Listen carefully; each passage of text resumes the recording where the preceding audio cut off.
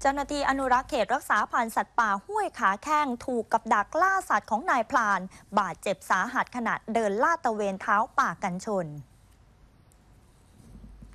แพทย์เร่งให้การรักษานายเฉลิมวุฒิศรียภูมิ เจ้าหน้าที่อนุรักษ์เขตรักษาพันธุ์สัตว์ป่าห้วยขาแข้งจังหวัดอุทัยธานี ที่ได้รับบาดเจ็บถูกกับดักล่าสัตว์ของพลานป่า จนกระดูกขาแตก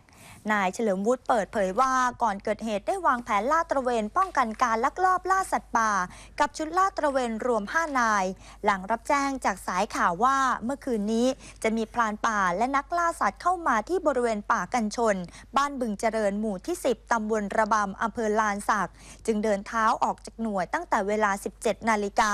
กระทั่งเวลา 20 นาฬิกา ขณะเดินเท้าลาดตระเวน ได้ไปสะดุดกับเถาวัน ที่ใช้ผูกกับปืน กับดักล่าสัตว์จนเกิดลั่นใส่ขา จึงวิทยุขอความช่วยเหลือไปยังเขตรักษาพันธุ์สัตว์ป่าห้วยขาแข้ง เพื่อนำตัวออกไปจากป่า เพื่อส่งรักษาตัวที่โรงพยาบาล เจ้าหน้าที่ยังบอกอีกว่าการใช้อาวุธปืนล่าสัตว์อย่างเช่นกรณีนี้ ถือว่าเป็นอันตรายอย่างมากต่อการสูญเสียสัตว์ป่า โดยเฉพาะเสือโคร่ง